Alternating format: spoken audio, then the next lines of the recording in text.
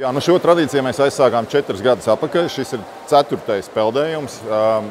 Iesāka viņi gan kadeti pēc savas iniciatīvas, lielā mērā atbalstītājs bija tā laika gaisa spēka plūsmas kursa priekšnieks kapteinis Siliņš. Tad liela pateicības vārdu viņam jāsaka ir. Un, jā, tik tiešām, ja sākotnēji tas bija nu, pārsvarā tomēr kadetu un akadēmijas pasākums, tad tagad jau viņš ir izaudzis līdz tam, ka mums ir vismaz piecas citas augstskolas atsaukšās un, un, un pārstāvēs šeit un, un peldēs. Katru gadu mēģinam nopeldēt ar vien vairāk. Pagājušajā gadā bija sasniegts 47 tūkstoši kilometru distance kas īstenībā tā ļoti simboliski ir gandrīz precīzi distance no, no Rīgas līdz Varaļiem, kur lielākā daļa no tiem 14 savu dzīvības atdeva. Mēs jā, 11. vispār novembrī arī citos pasākumos atceramies mūsu brīvības cīņās kritušos nacionālus pardzāņus un tā tālāk. Bet mēs patiek, pie, nepietiekam pieminam mūsu laiku kritušos karavīrus. Viņi ir tieši tādi paši brīvības cīnītāji kā 19. gadā vai 20.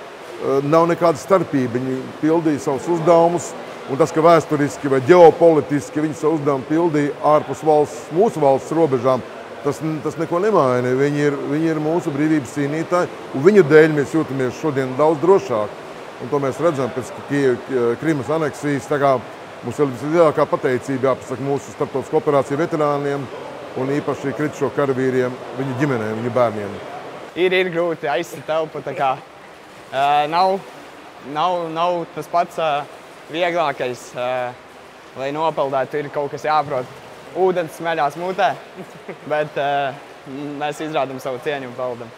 Šā gada mērķis ir, protams, iekļūt trīniekā, bet ir arī jāsacenšas ar citām augstskolām, kā Latvijas Sporta pedagoģisko akadēmiju, protams, kur ir peldēšanas katedra, un tas nav viegli. NAA varēs izrādīt tādu cienīgu pretestību viņiem? Cerams, cerams. Tā kā mēs esam gan visi peldētāji manā komandā, tad mēs ceram, ka mēs varēsim uzstādīt augstu latiņu arī citiem.